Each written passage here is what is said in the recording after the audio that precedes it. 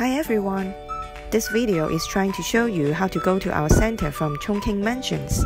First, step out of ChungKing Mansions and take a right, staying on Nathan Road for 5 blocks, which you will go across Mody Road,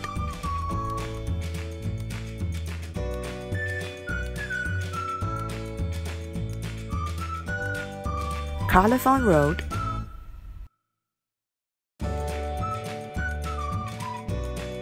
Humphrey Avenue,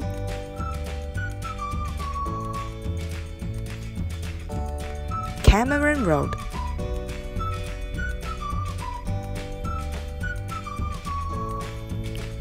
and then you will see the one shopping mall in front of you.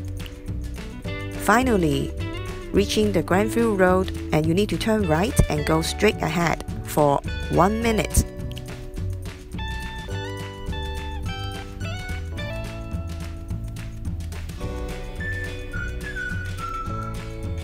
And then walk across the crossroads and keep walking ahead for one more minute.